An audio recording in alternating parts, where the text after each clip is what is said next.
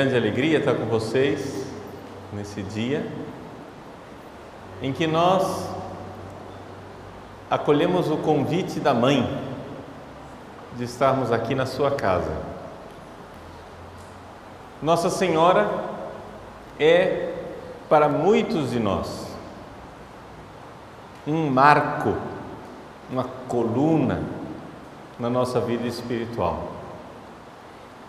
Já para outros, Nossa Senhora às vezes é uma pedra de tropeço, é de alguma forma um empecilho de caminhar melhor, caminhar para Deus, porque parece que os católicos colocam Nossa Senhora no lugar de Deus. Na verdade, Deus, Deus, desde toda a eternidade, pensou a nossa salvação. Vejam, Deus nos ama, é algo extraordinário. Que Deus nos ame é algo quase que inacreditável. O Evangelho de hoje fala, usa uma parábola em que Jesus fala de um escravo. A tradução da CNBB fala de um empregado, mas não é empregado. Empregado, não se, se você traduzir como empregado, você não entende a parábola. É escravo. Escravo quer dizer coisa, objeto, possuído. Um escravo que tem o seu patrão, o escravo faz o seu dever e no final, o escravo, depois que fez o dever, diz: Eu sou um servo inútil. Na época de Jesus havia isso. Na época de Jesus havia esse relacionamento, não era empregado como hoje, com carteira assinada, décimo terceiro, férias remuneradas, direitos trabalhistas, sindicato, nada disso, seguridade social, nada disso. Na época de Jesus havia estas pessoas que eram possuídas, que tinham um dono, um dono. E Jesus usa esta expressão para nos acordar de qual é o nosso relacionamento com Deus inicialmente. Digo inicialmente, porque depois eu explico o resto. Mas inicialmente você tem que entender o seguinte: a distância que existe entre você e Deus é maior do que a distância entre você e o seu cachorro. Você é dono do seu cachorro. Seu cachorro, ele é objeto seu. Você é dono, proprietário. Você tem direito de vida e de morte sobre aquele cachorro. Você pode matar o seu cachorro se você quiser e você não vai para a cadeia. Ah, que isso, padre? Que coisa, que violência! Matar o cachorro, uai. O dono da vaca mata a vaca e está lá o bife no seu almoço e você não faz velório para a vaca, faz? A gente está perdendo um pouco a noção do que é um animal, né? A gente vê alguns jovens, outro dia eu estava com, com um jovem dando carona no carro, alguns rapazes, aí tinha um cachorro atropelado no meio da rua. Aí, comentário geral no carro: Nossa, olha lá, o cachorro, ah, meu Deus, eu não consigo ver aquilo, não sei o que, etc. Alguns minutos depois, nós encontramos um acidente de moto. Uma pessoa não estava não estava mal, assim nós vimos, a pessoa estava sentada no meio fio, etc. Mas com acidente de moto. E eu disse, olha lá, coitado, né? Ah, motoqueiro é louco.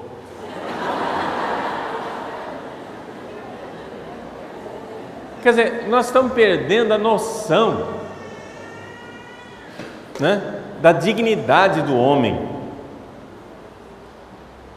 Mas, noves fora isso, que não é, não estou aqui para dar aula de ecologia, né? qual é o nosso relacionamento com os animais. Noves fora isso, tem o fato que os animais que devem ser respeitados, os animais são objeto. Os animais são uma realidade que nós possuímos, somos dono. Pois bem, assim como você é dono do animal e a distância que você tem, veja a dignidade do ser humano e a não dignidade do animal. Você mata um ser humano, você vai para a cadeia, você mata um animal, você faz festa e vira churrasco, né? Assim também nosso relacionamento com Deus. A dignidade de Deus, a grandeza de Deus é infinita. Gente, quando nós pronunciamos a palavra Deus, Deus deveria nos dar vertigem. Se você pronuncia a palavra Deus e não sente uma vertigem, um abismo, então você não entende quem é Deus. Você não sabe quem é Deus. A gente às vezes, nós estamos perdendo, nós viramos uma, uma cultura irreverente não é? Então, por causa da nossa irreverência, a gente chega, né? Fala com Deus, e aí, cara, tudo bem, né? Deus é meu chapa, Deus é meu amigo, ei, legal. Só que acontece que Deus é Deus. E é por isso que nós estamos numa sociedade, principalmente quando se fala dos nossos dirigentes, quando nós falamos de é, pessoas influentes, falamos das universidades, dos cientistas, nós estamos numa sociedade que cada vez mais rejeita Deus. É interessante, meus queridos, deixa eu falar para vocês. Parece que os ateus, parece que os pagãos, Parece que os não religiosos entendem mais quem é Deus do que nós mesmos. Sim, porque se existe um Deus, eu não me pertenço, eu sou para Ele. E é isto que é insuportável. É isso que a sociedade abomina. É isto que o homem moderno não tolera. Por quê? Porque se existe um Deus, eu não sou dono de mim, eu sou para Ele. Deus não é uma ideia tal que, com ou sem a qual o mundo continua tal e qual. Não. O mundo não continua tal e qual. Deus é uma realidade que, se Ele existe, a minha vida vira pelo avesso. E se Ele não existe, a minha vida vira de outro jeito. Muda tudo. Muda tudo. Porque se Deus existe, eu pertenço a Ele. Ele me fez. Ele é o meu Criador, Ele me modelou, Ele me sonhou, Ele me projetou e pensou em mim desde toda a eternidade. Não interessa como foi que você veio ao mundo. Se você veio ao mundo porque seus pais se casaram no religioso, de forma né, assim, tranquila, bem projetada, planejada, ou se você nasceu de um estupro. Se você nasceu sem planejamento, não interessa. Não interessa. Deus sonhou com você desde toda a eternidade, Ele quis você, Ele projetou você e Ele disse: Tu és meu, tu és minha. Ele é nosso Senhor. Deus. O mundo moderno, os ateus, os cientistas, os pagãos, os irreligiosos entendem mais o que é Deus do que nós católicos. Porque eles veem que Deus muda tudo e por isso eles não aceitam Deus. Por isso eles se revoltam contra Deus. Um filósofo ateu chamado Friedrich Nietzsche, ele dizia no seu livro Assim Falava Zaratustra, num capítulo chamado As Ilhas Bem-aventuradas, Nietzsche diz assim: Meus irmãos, hei de confessar-vos a verdade. Nossa, que, que tom solene, né? De Nietzsche.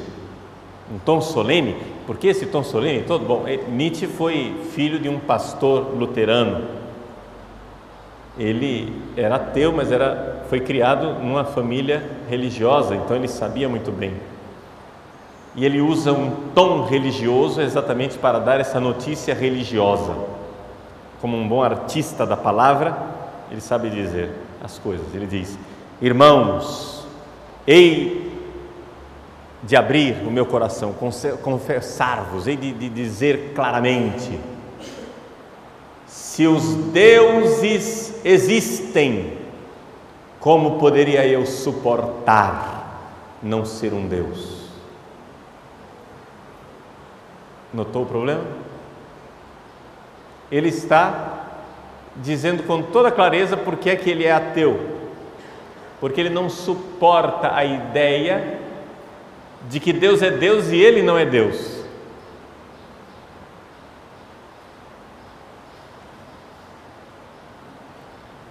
Nós, no entanto, somos de Deus, pertencemos a Ele, somos sonhados por Ele.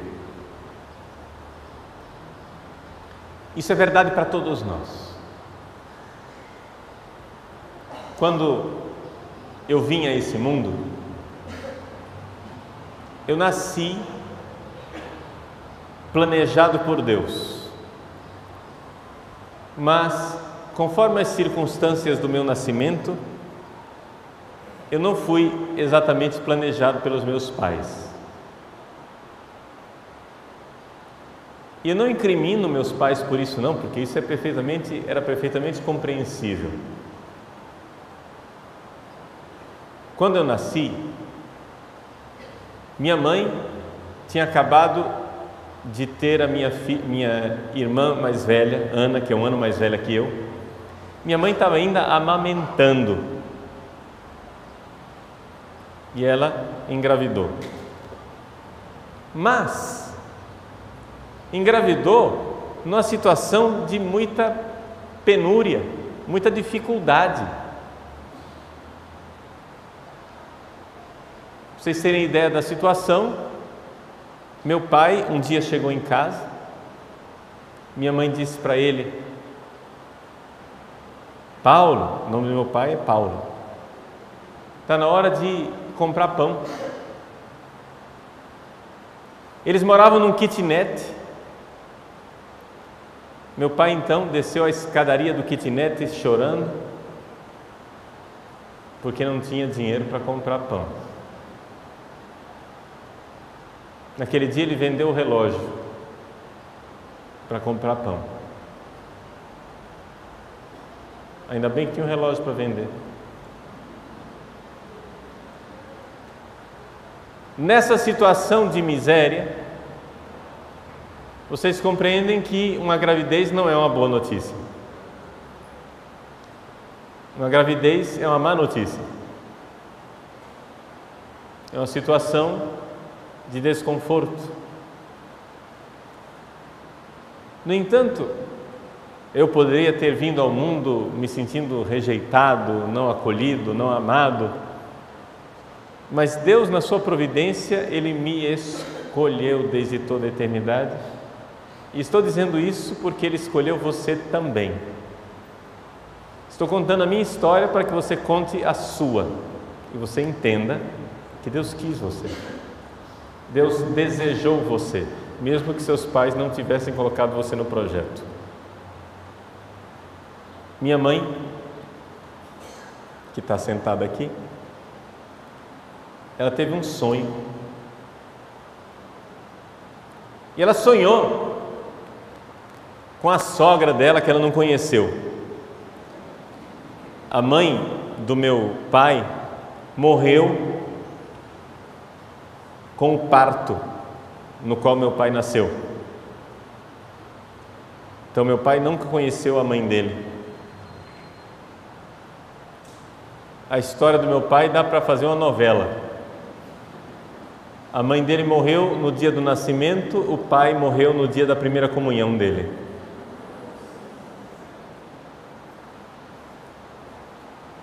E então, minha mãe sonhou com a dona Vanja, minha avó, Evangelina, sonhou e disse para ela assim: minha avó apareceu no sonho e disse: Rejane, o nome da minha mãe Rejane, não fique triste. Esta é a única oportunidade que você vai ter de ter um filho homem. E de fato é verdade. Depois veio minha irmã mais nova, e aí fechou a fábrica E eu conto esse sonho não para dizer, nossa, Padre Paulo, eleito. Não, para dizer, nossa, nós todos eleitos, sonhados por Deus. Nós todos, nós somos dele. Ele nos sonhou, ele nos quis mas Ele nos colocou nesse mundo não para nos tratar, né? Muito bem, a pão de ló, né? Nos tratar assim, sem sofrimentos, não. Eleito por Deus, desejado por Deus, querido por Deus, os sofrimentos continuaram. Meu pai não deu conta de nos sustentar. Um belo dia, ele foi, bateu na porta do meu avô, pai da minha mãe, e disse para ele: Seu Wilson, meu pai disse com lágrimas nos olhos: Eu trouxe aqui a sua filha e os seus netos, e eu quero pedir para o Senhor, cuide deles para mim, porque eu vou trabalhar. Eu vou trabalhar. E quando eu conseguir com o meu trabalho, eu vou vir buscá-los. Por quê? Porque nós estávamos arriscando passar fome. E assim nós crescemos. Eu fui então batizado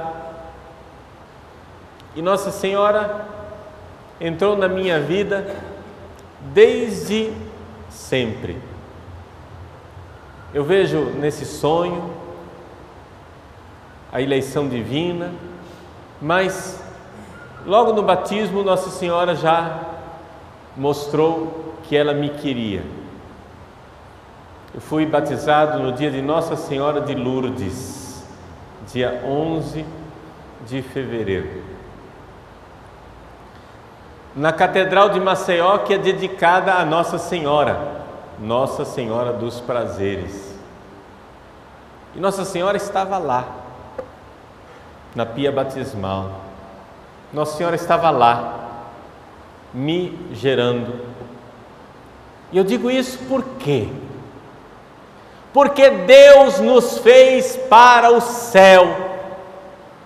Mas como é possível que nós, criaturinhas de Deus, tão distantes de Deus, nesse abismo infinito, como era possível que nós subíssemos o céu e fôssemos morar com Ele? Como era possível que nós nos tornássemos filho de Deus? Um bezerro não pode ser filho de uma pessoa humana.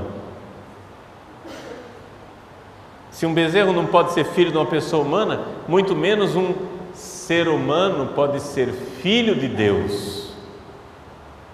Então Deus, vendo que nós estávamos no abismo, nos amou, nos escolheu, nos quis, sonhou conosco e Ele transpôs o abismo que nós não éramos capazes de transpor. Ele veio a esse mundo e veio para esse mundo e escolheu uma porta. A porta. Janua Celli porta do céu, a porta que Deus escolheu para entrar neste mundo chama-se Maria. Deus entrou nesse mundo por ela. E eu agradeço a Deus pela sua providência, porque por ela também eu entrei no mundo de Deus. Entrei no mundo de Deus através do batismo. E no dia de Nossa Senhora de Lourdes, na Catedral de Nossa Senhora dos Prazeres, eu entrei neste mundo fantástico da Igreja Católica. Esse mundo lindo, esse mundo extraordinário, onde a gente sofre tanto por causa do pecado dos homens e das mulheres, mas é lindo é o mundo da graça. É o mundo da graça. Tantos homens e mulheres pecadores, sem vergonha, safados, sanguinolentos, eu sou o primeiro deles. Mas Deus nos escolheu para estar nesse mundo, nos agraciar. Jesus entrou nesse mundo por Nossa Senhora. Talvez muitos de vocês ainda estejam nesse mundo católico por causa de Nossa Senhora Quantas pessoas não cortam o vínculo com a Igreja Católica exatamente por causa de Nossa Senhora? Quantas pessoas sofreram na mão de padre, na mão de bispo, na mão de ministro da comunhão, de comunidades injustas, de situações de fofoca, de pecados dentro da Igreja Católica? Quantas pessoas são visitadas por evangélicos, protestantes, espíritas, eh, umbandistas, etc., vem para cá, vem você também, mas por causa de Nossa Senhora ficam, por causa de Nossa Senhora permanecem, por causa de Nossa Mãe. Ela não está lá, se ela não está lá, eu não vou.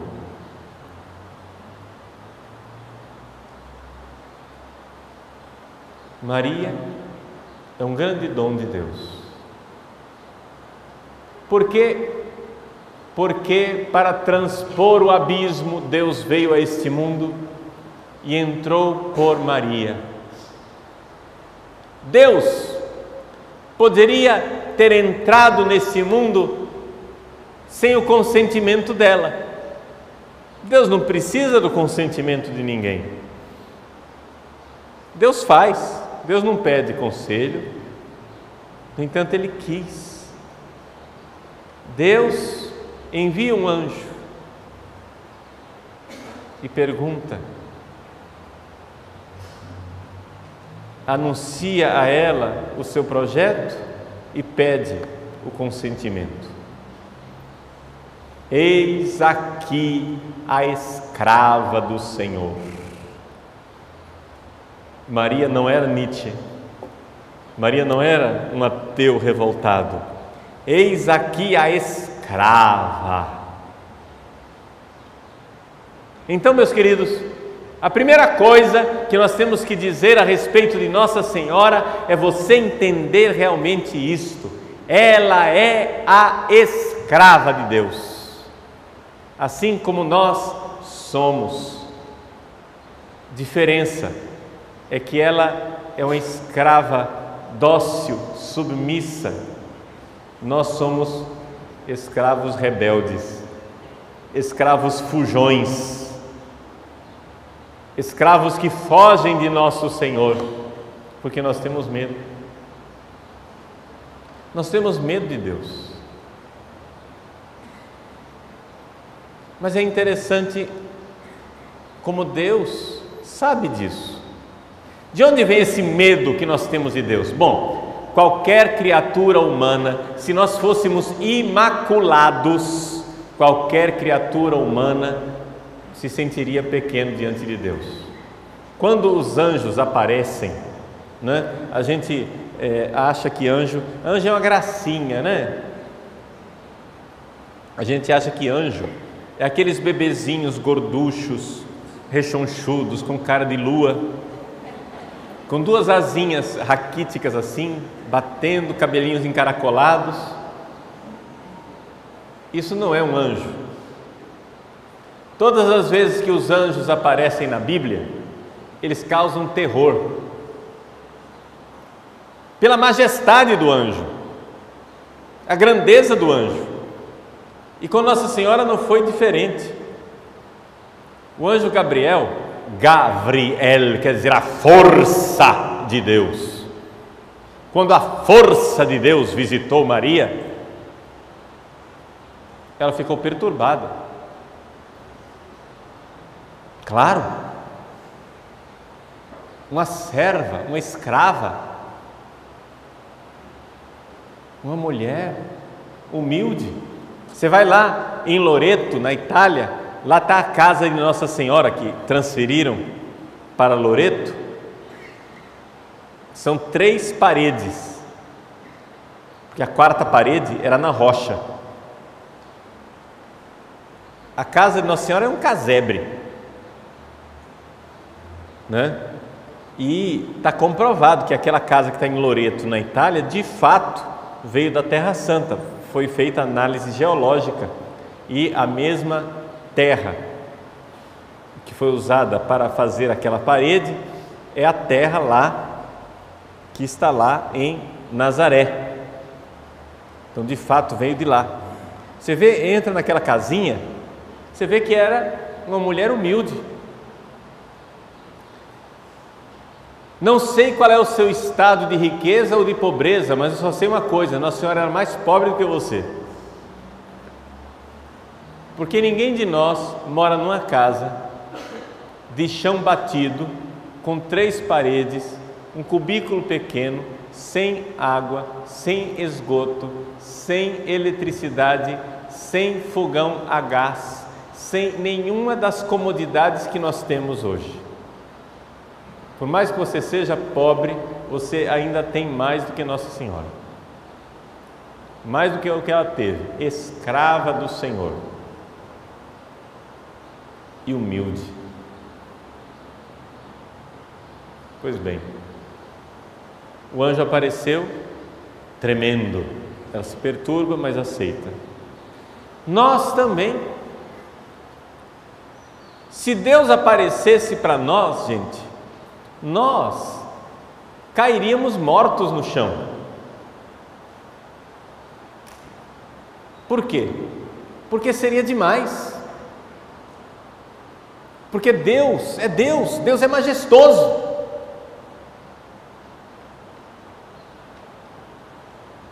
Acontece que isto já faz com que a gente naturalmente tenha um certo medo de Deus por causa da majestade. Mas o medo é ainda maior pelo fato de que nós temos o pecado original. No capítulo 3 do livro do Gênesis, quando Deus foi atrás de Adão e Eva, Adão e Eva se esconderam atrás do arbusto, com medo de Deus. Eu vi os teus passos e me escondi. Deus sabe que nós temos medo dele. Deus sabe disso.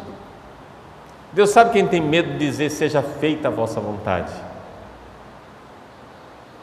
Então, por isso ele quis nos dar a mulher, Nossa Senhora, nossa mãe. Porque diante da imagem de uma mãe ninguém tem medo. E ela é reflexo da luz divina. Nossa Senhora, quantas e quantas pessoas que teriam medo de se aproximar de Deus não têm medo de se aproximar dele porque se aproximam de Nossa Senhora. E eu agradeço a Deus porque foi assim que eu entrei na minha vida espiritual. Quando eu era criança,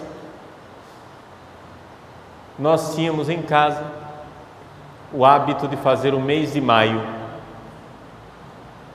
A minha avó, que era a mãe adotiva do meu pai, tia dele, a minha avó, que morava conosco, preparava o altarzinho de Nossa Senhora. Nós fazíamos nuvens com lençol, colocava lá Nossa Senhora e nós então fazíamos o mês de maio, todos os dias. Todos os dias, no mês de maio, nós cantávamos para Nossa Senhora, tinha ladainha, tinha música, cantávamos músicas. Foi a minha primeira música em latim que eu aprendi, foi para Nossa Senhora, Regina Celli. Rainha do céu, alegrai-vos, aleluia. Nossa Senhora, então, estava lá no início da minha vida. Quando eu comecei a rezar, aprendi a rezar, eu rezava para Deus, mas eu rezava muito mais para Nossa Senhora. Nossa Senhora estava lá, na minha infância. Como qualquer criança tem mais relacionamento com a mãe do que o pai, não é isso? Também foi assim na minha infância espiritual. Eu tinha mais relacionamento com Nossa Senhora do que com Deus, do que com Jesus. Na minha adolescência, depois fiz primeira comunhão, né? nós nos transferimos aqui para Cuiabá, sou nascido em Recife, né? viemos para Cuiabá em 1979. E então Aqui em Cuiabá, eu fui estudar no colégio salesiano, São Gonçalo. Lá aumentou a minha vida espiritual. Os salesianos ensinaram a devoção à Nossa Senhora Auxiliadora. Minha mãe sempre foi devota de Nossa Senhora da Conceição. Minha avó era Nossa Senhora de Fátima. Eu fui batizado Nossa Senhora de Lourdes. Depois os salesianos colocaram Nossa Senhora Auxiliadora. Para quem não sabe, deixa eu avisar o óbvio: é a mesma Maria, mãe de Jesus. Só tem uma, tá? Só tem uma, única. Aquela que é a porta do céu. Pois bem, Nossa Senhora, porta do céu, também é porta para a nossa vida espiritual. A gente vai crescendo na vida espiritual com ela e vai aprendendo a confiar em Deus confiando nela. Os protestantes ficam meio perplexos com isso. Imagina confiar numa mulher confiar numa criatura. Só acontece o seguinte: Deus é Deus, Deus tem sua pedagogia. Deus sabe se aproximar de nós sem nos assustar. Está entendendo? E Ele se aproxima de nós através de Nossa Senhora, que é reflexo da luz de Deus. O amor de Deus por nós, gente, é infinito.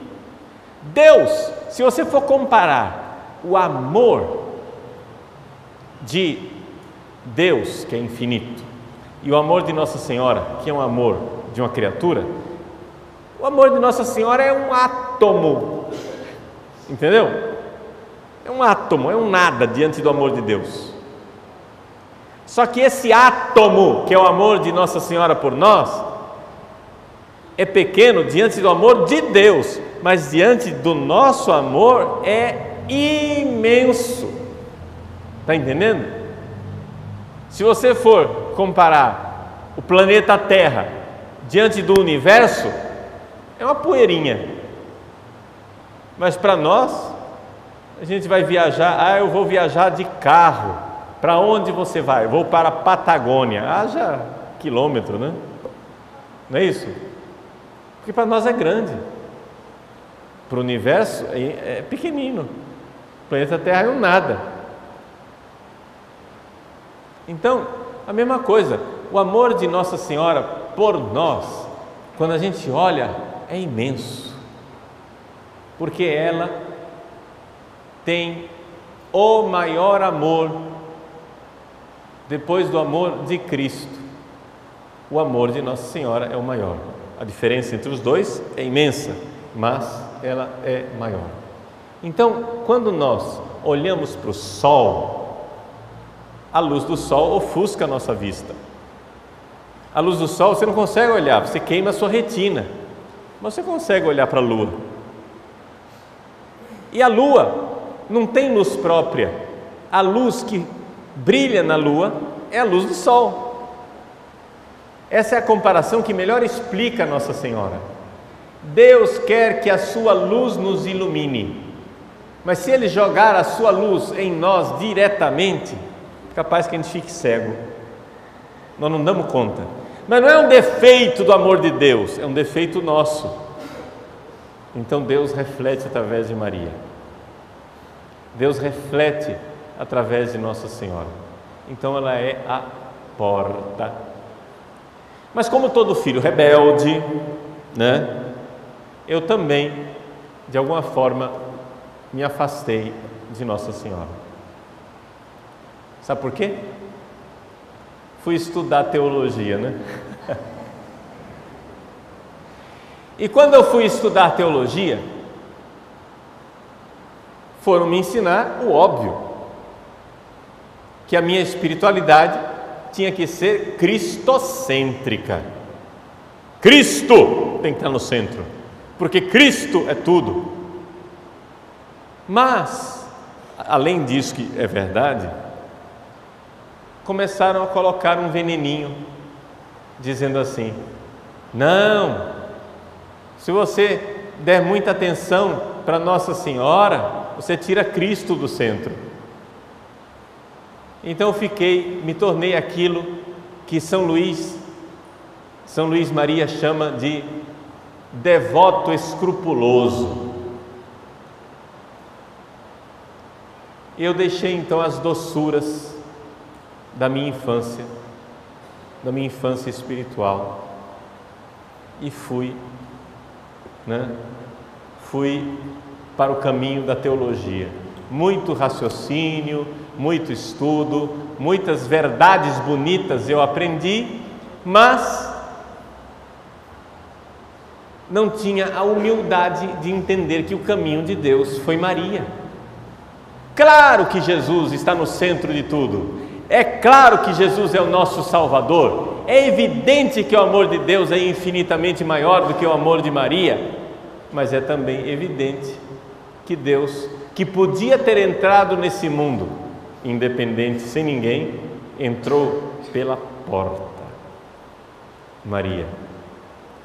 E ele quer que nós entremos também pela porta, que é Maria. É o caminho de Deus. É o caminho dele. Deus não muda o seu caminho.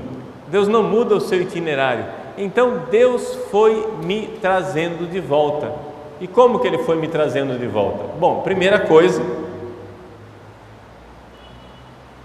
graças a Deus e a Nossa Senhora, Deus nunca permitiu que eu enveredasse pelo caminho da heresia.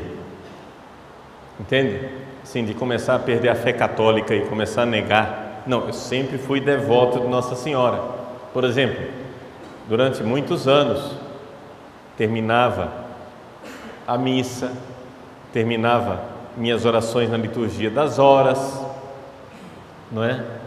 Eu rezava uma antífona para Nossa Senhora, sempre teve lá, todos os dias e várias vezes por dia. Mas eu não rezava o terço. O terço que eu tinha aprendido em casa, o terço que eu tinha aprendido a rezar em casa e rezava todos os dias. Quantas vezes eu rezei o terço, né? Dormindo, minha avó lá puxando o terço e eu dormia, mas rezava. Eu fui embalado pelo terço, fui crescendo com o terço. Eu vivia com o terço no bolso.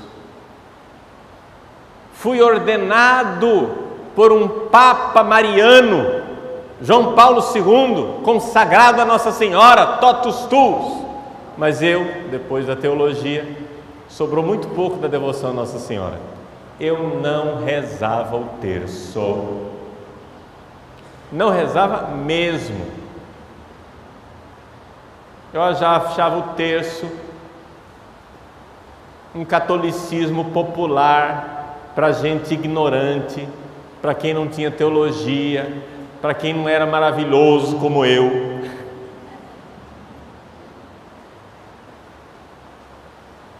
E no entanto, Nossa Senhora tentou me trazer de volta várias vezes. Quantas vezes eu ouvi pregações que diziam: Nossa Senhora, quando apareceu em Lourdes, pediu a oração do terço. Nossa Senhora, quando apareceu em Fátima, pediu a oração do terço. Todas as aparições Nossa Senhora, ela sempre insiste. É a antífona dela. Rezem o terço, rezem o rosário, rezem o rosário. Quando, é, quando a gente diz a palavra rosário, aqui em português, a gente pensa que são todos os, os mistérios. É, é, nos outros países, todo mundo sabe que a palavra rosário quer dizer rosário, então parte do rosário, tá entendendo? Pode ser só o terço mesmo é equivalente a rosário, tá? Não estou dizendo, hoje, hoje eu rezo o rosário todos os dias, os quatro grupos de mistérios, que não pode mais falar terço, porque João Paulo II mudou, não é mais terço, é um quarto, né, agora.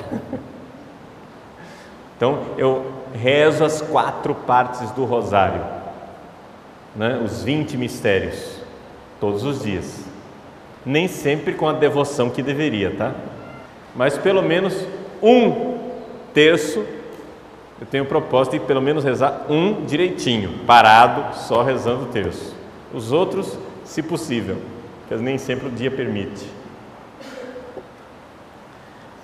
Mas quem sabe eu me converto, né? Outro dia, eu lendo, estudando a devoção que o Padre Pio tinha pela, por Nossa Senhora, eu descobri que o Padre Pio escreveu numa anotação dele lá, no quarto dele, descobri a anotação. Todos os dias, ao menos cinco rosários. É evidente que ele rezava ouvindo confissão. Está entendendo? Que o homem passava o dia no confessionário, né? E ele ia rezando. Para a gente entender. Mas eu achava que o terço era uma bobagem. Então tem que dizer isso. Tenho que confessar o meu pecado. Pecado de orgulho. Mas Nossa Senhora pacientemente veio me trazendo de volta. Primeiro, ela fez isso com a queda dos meus amigos, ou seja, pessoas que eram meus amigos, que eram tão cristocêntricos, liturgistas como eu, começaram a rezar o terço. E eu achava aquilo, Ih. Mas eles começaram a rezar o terço. Não, eu estou sentindo necessidade de rezar o terço. E começaram a rezar o terço. E começaram a, a mudar. E o pessoal começou a mudar ao meu redor. E aí veio o golpe mortal. O que é que foi o golpe mortal na minha vida? Para eu voltar para Nossa Senhora de vez. A morte de João Paulo II. Eu atribuo a intercessão, um dos milagres de João Paulo II, que vai ser canonizado agora. Um dos milagres dele é o Padre Paulo voltar a ter devoção a Nossa Senhora. Né?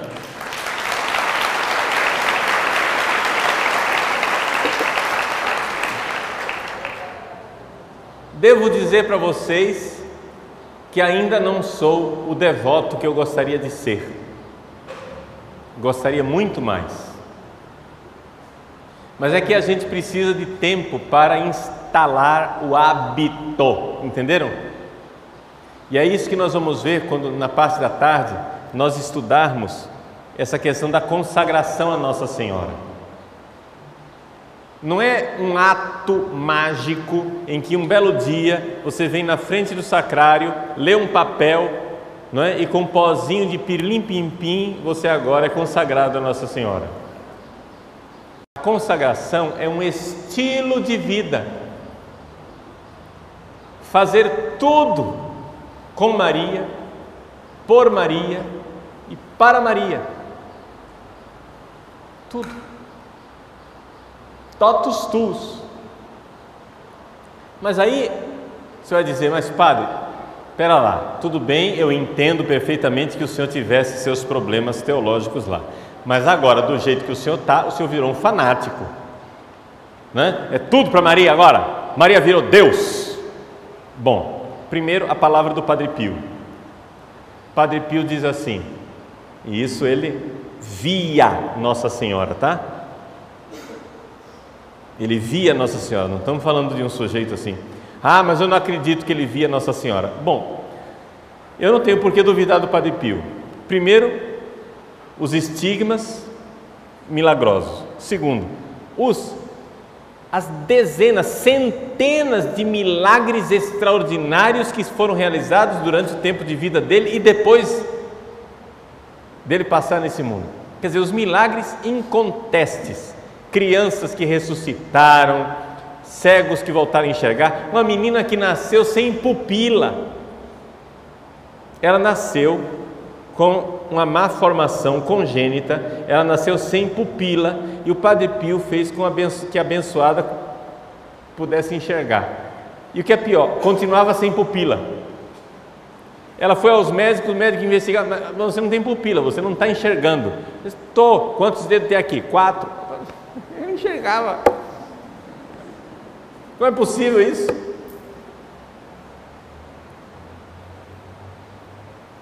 Bom, diante de tantos milagres, eu não tenho por que duvidar que Padre Pio via Nossa Senhora. Um homem santo desse tanto não vai mentir. Ele via Nossa Senhora. E um dos diálogos dele com Nossa Senhora, que ele, um, um, uma das coisas maravilhosas é que Padre Pio é, fazia direção espiritual por escrito. Então ele contava para o diretor espiritual dele nas cartas as visões que ele tinha, a conversa que ele tinha com Nossa Senhora, então está tudo arquivado, está tudo escrito. E ele escreveu para o diretor espiritual a conversa dele com Nossa Senhora, e ele era muito carinhoso com ela. Oh, minha mãe, la mamma, mamina, né? Mamma mia, etc. Como bom italiano, né? Ele então, uma hora disse a Nossa Senhora: Mãe, se não fosse pela fé, a fé da igreja, Se não fosse pela fé, os homens achariam que tu és uma deusa. Ou seja, a grandeza de Maria. Maria é tão extraordinária que, se não fosse a fé da igreja que nos segura, nós acharíamos que ela é uma deusa. De tão gloriosa e extraordinária. A glória de Maria é maior, você pegue a glória de todos os anjos, que são bilhões, trilhões de anjos. A glória de todos os santos que já existiram, que existem, que existirão. A glória de todos juntas a glória de todos os anjos e santos diante da glória de Maria é, é como uma estrelinha diante do sol. Está entendendo? A estrelinha como nós a vemos, ou seja, só aquele brilhozinho tênue lá no céu, tudo junto, é só uma estrelinha e Maria é o sol, que tudo ilumina. Essa é a diferença. É enorme. Maria é diferente de todos os anjos e santos. Por quê? porque ela é a mãe de Deus. Mãe. Ou seja, Deus escolheu uma mãe e deu a ela a glória. Seu dia, seus dias aqui na terra ela passou humildemente, mas depois ela foi gloriosa. Deus manifestou a sua glória. A mulher vestida de sol, diz o Apocalipse. Apareceu um grande sinal no céu. Grande não se usa essa palavra no Apocalipse para nenhum outro sinal. Pareceu um grande sinal do céu. Uma mulher vestida de sol. Extraordinária. Pois bem, Maria, depois que subiu aos céus, era assim, é assim, gloriosa. Bom, então, a fé nos diz que ela não é Deus.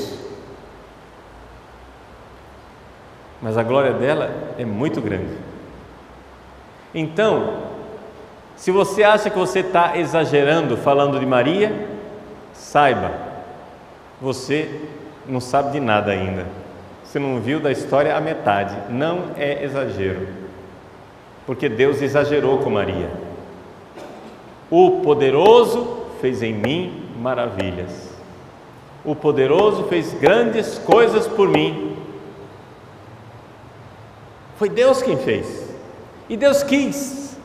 E Deus realizou essa obra extraordinária. É claro que Deus é infinitamente maior do que ela, mas diante de nós, comparado conosco, ela é muito, muito gloriosa.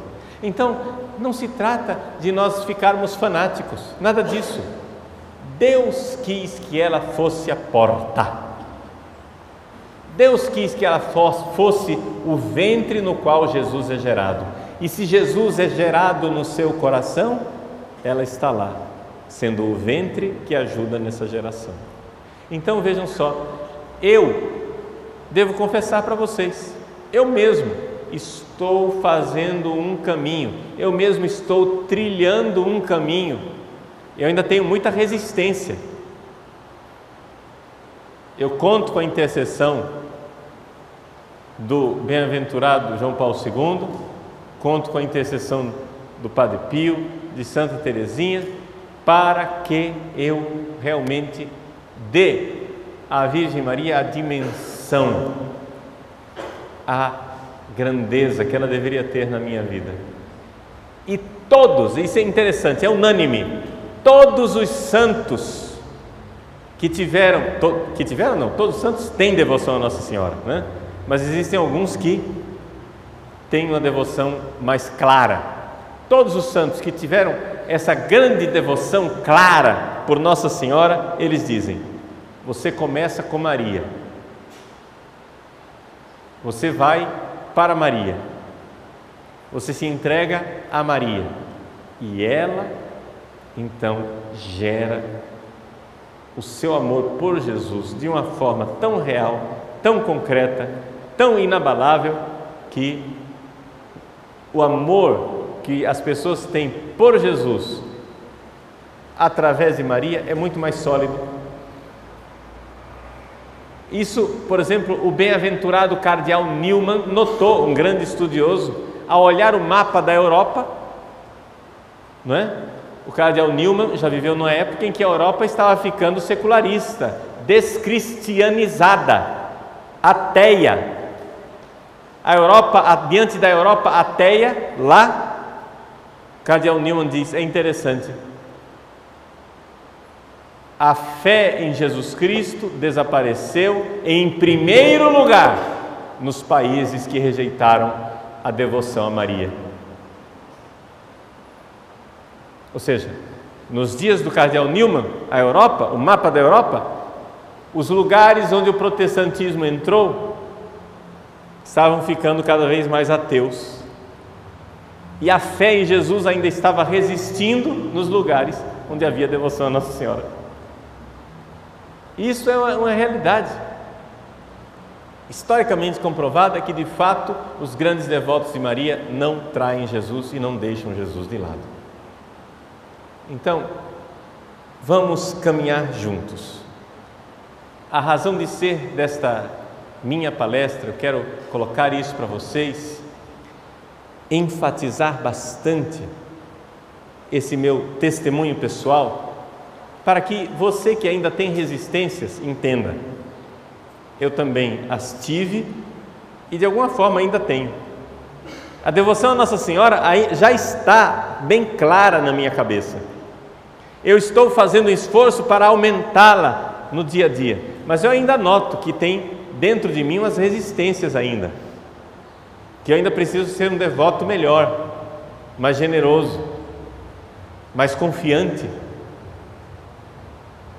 Rezem por mim, eu rezo por vocês e nós vamos caminhando nessa devoção que é um caminho de santidade, um caminho de santificação. Né? Nós somos chamados não somente a ser bonzinhos, somos chamados a ser santos. Este é o caminho. Mas ser santo sem Maria é muito difícil porque a gente fica com medo de Deus. Mas ela, como toda mãe, acalma o nosso coração e interpreta o amor de Deus. Essa é uma das missões mais bonitas da mãe, que hoje em dia na nossa sociedade está desaparecendo. Antigamente o que é que acontecia? O pai severo dizia não. Aí a criança saía chorando ia para a mãe. E a mãe explicava o amor do pai e dizia: Não, meu filho, seu pai ama você, ele quer bem a você. Ele está dizendo não, porque ele quer bem. Hoje em dia as mulheres não querem mais fazer isso. Hoje em dia o pai diz não. Aí o que, é que a mãe faz? Criança vai lá chorando: Mamãe, papai disse não. Aí a mãe chega e diz: É verdade, seu pai é um sem vergonha. Seu pai é um safado. Seu pai não presta mesmo. Homem é uma desgraça. Homem não presta. Não façam isso. Sigam o modelo de Deus. Deus nos ama. O amor de Deus é infinito. Só que a gente não entende. Quando Deus nos ama e diz não, a gente duvida de Deus, se desespera. A gente faz como Santa Teresa d'Ávila. Senhor, se é assim que tratas os teus amigos, não é à toa que tens tão poucos amigos. A gente fica revoltado com Deus.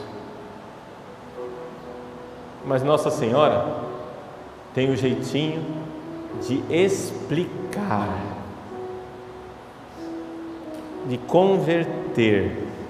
Mãe que vai interpretando o amor eterno do Pai e vai dizendo: Não, meu filho, Ele ama você, é que Ele quer você no céu.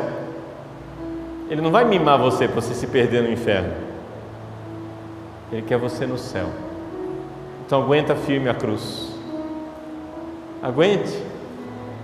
Segura. Segura e vai. Mas mãe, eu estou com medo. Então segura na minha mão. Vamos juntos. Aquela cena extraordinária e inesquecível do filme do Mel Gibson. Rezem pelo Mel Gibson, ele está precisando. Ele precisa de nossas orações. Aquela cena extraordinária em que Jesus, no caminho do Calvário, cai no chão, a mãe corre na direção dele e diz: só uma palavra, eu estou aqui. Como isso é extraordinário na vida de um cristão. Se a cruz está pesada, se você está caindo, se você não está dando conta, eu estou aqui. Essa palavra, Nossa Senhora disse em Guadalupe, para nós, latino-americanos. Juan Diego estava com medo de ir lá se apresentar diante do bispo. E ela disse: Não estou eu aqui, que sou tu madre? Não estou eu aqui, que sou tua mãe? Eu estou aqui. No momento em que a cruz pesa, ela diz: Eu estou aqui. E Jesus sente suas forças renovarem. Interessante como no filme, muitas vezes, o amor da mãe renova as forças do próprio Jesus. Jesus lá, caído, no meio da flagelação, ele olha para a mãe, recupera as forças e se levanta. Jesus carregando a cruz para o Calvário, ele olha para a mãe, se levanta. Mas, Padre, Jesus é Deus, eu sei, mas ele é homem igual a nós em tudo. E a certeza de uma mãe levanta todo mundo, reergue todo mundo. Se a sua vida está de cabeça para baixo, meu irmão, minha irmã, ela diz: Eu estou aqui. Jesus, então, no filme do Mel Gibson, pronuncia uma frase que é do livro do Apocalipse. Veja, mãe, eu faço novas todas as coisas. Que Ele venha renovar em nós. No colo de Maria, somos gerados e Jesus vem fazer novas todas as coisas. O que é que você precisa renovar na sua vida? É sua vida afetiva, sua vida familiar, sua vida sexual, sua vida financeira, sua vida espiritual, sua vida vocacional, sua vida social. O que é que você precisa renovar? Nós estamos aí às portas da festa de Nossa Senhora Aparecida. Precisamos renovar o nosso país. Eu estou aqui diz a mãe, e nós confiamos nela. Ave Maria, cheia de graça, o Senhor é convosco. Bendita sois vós entre as mulheres, e bendito é o fruto do vosso ventre, Jesus. Santa Maria, Mãe de Deus, rogai por nós, pecadores, agora e na hora de nossa morte. Amém. Abençoe-vos o Deus Todo-Poderoso, Pai, Filho e Espírito Santo. Amém.